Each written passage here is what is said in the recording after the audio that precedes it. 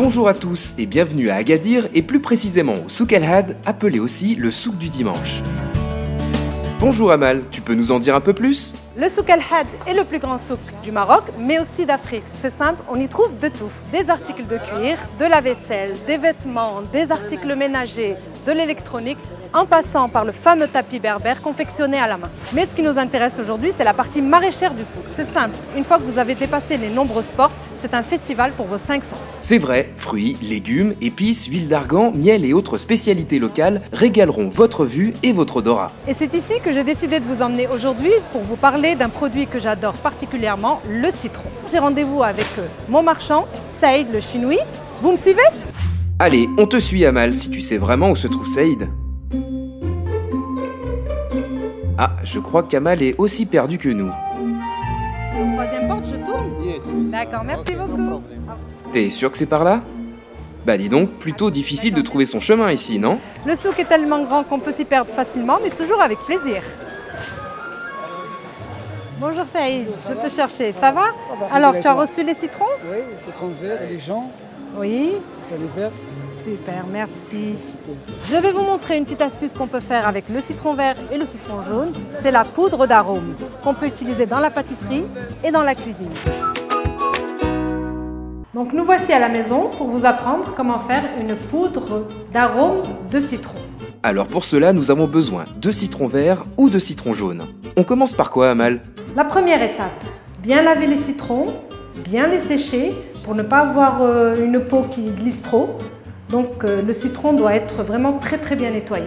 Ok, d'abord, on nettoie les citrons. Eh, attends-nous, qu'est-ce qu'on fait ensuite? Vous prenez un couteau et vous coupez des, des lamelles bien fines.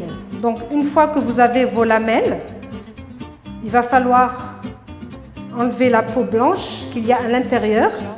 Effectivement, la peau blanche, c'est ce qui va donner un goût amer. Mieux vaut l'enlever entièrement avec un couteau bien aiguisé. Donc l'enlever au maximum. Tout doucement, elle s'enlève facilement en principe. Donc voilà, nous avons une lamelle bien verte. Et pour les faire sécher, on va couper en petites lanières pour que le séchage se fasse plus vite au soleil. Et voilà le travail. Pour un petit bocal, une quantité d'un kilo de citron devrait suffire. Choisissez-les donc plutôt gros afin d'avoir assez d'écorce. Et qu'est-ce qu'on fait ensuite? Deuxième étape, vous les mettez dans une assiette et vous les placez 3-4 jours au soleil. Une fois que la peau est bien sèche, vous rentrez votre petite assiette, vous chauffez votre four à 180-200 degrés, vous l'éteignez et vous mettez votre assiette à l'intérieur du four pour finir le séchage. Une petite demi-heure devrait donc suffire. Nous avons essayé également avec de l'orange et du citron jaune. Troisième étape, passez vos peaux séchées dans un mixeur à épices de façon à récupérer une poudre bien fine. Voilà, une fois que c'est bien mixé, sentez-moi toutes ces odeurs, c'est magnifique. Nous allons passer au tamis pour avoir vraiment la poudre fine. Et n'hésitez pas surtout, s'il vous reste des petits résidus, remettez-les dans le mixeur et mixez encore une fois jusqu'à ce qu'il n'y ait plus de grosses graines. Vous n'allez avoir que de la poudre. Donc voici notre poudre d'arôme de citron que vous pouvez utiliser dans tous vos jus, vos cocktails, vos plats maison et même votre pâtisserie. Vous pouvez désormais ajouter simplement une cuillerée à café de poudre d'arôme pour l'équivalent d'un cake.